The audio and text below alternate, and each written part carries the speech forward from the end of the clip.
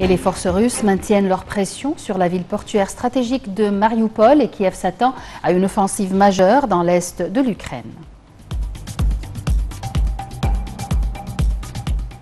Les informations en détail. Le président Abdel Fattah a inspecté aujourd'hui le centre des opérations pour le contrôle et le suivi du réseau national d'urgence et de sûreté générale. Selon le porte-parole de la présidence, le président Assisi a suivi les explications sur le centre qui applique les dernières normes technologiques, ce qui renforce le système d'urgence et de sûreté entre les gouvernorats du pays. Le Premier ministre a enjoint d'informer le Conseil des ministres des remarques sur le document de la politique de propriété de l'État pour le lancer dans le plus bref délai. Dr Matbouli a ajouté que ce document a été envoyé à plusieurs experts. Parmi eux, quelques-uns avaient des remarques qui seront étudiées avant de lancer le document final. Ces déclarations ont été faites lors de la réunion hebdomadaire du Conseil ministériel. Le Premier ministre a assuré que ce nouveau document aura un impact positif sur l'investissement, vu qu'il rassure l'investisseur étranger et consolide la confiance aux institutions de l'État. Selon M. Madbouli, ce document est considéré comme un plan intégré ayant pour objectif d'autonomiser le secteur privé et d'organiser le rôle de l'État dans les activités économiques. D'autre part, le cabinet ministériel a étudié le rapport du Comité national de l'indemnisation des Nubiens endommagés. Le chef de la diplomatie, Samir Choukri, s'est rendu à Washington pour une visite officielle aux États-Unis.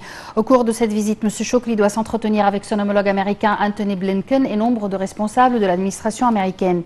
M. Choukri aura également une série d'entretiens avec des membres de la Chambre du commerce et des centres américaines de recherche. Cette visite s'inscrit dans le cadre des consultations continues entre le Caire et Washington. Elle vise également à renforcer les relations stratégiques distinguées entre les deux pays et à échanger les points de vue sur les différents dossiers régionaux et internationaux d'intérêt commun. Le ministère de l'Intérieur poursuit sa lutte contre les trafiquants de drogue. La Direction générale du contrôle des stupéfiants dans le secteur de la lutte contre les drogues et les armes non licenciées a réussi à perquisitionner de grandes quantités de drogue. Depuis des mois, le ministère de l'Intérieur intensifie ses campagnes contre le trafic de drogue. Les indices de la Bourse du Caire étaient mitigés à la clôture de la séance d'aujourd'hui. Dû aux opérations d'achat des investisseurs arabes et locaux. L'indice principal EGX 30 gagne 1,6%, atteignant 10 899 points. L'indice EGX 100 a gagné 0,3%, tandis que l'indice EGX 70 a perdu 0,05%. Passons aux territoires occupés. De nouveaux incidents violents ont éclaté aujourd'hui dans le nord de la Cisjordanie occupée, où des heurts opposent les forces israéliennes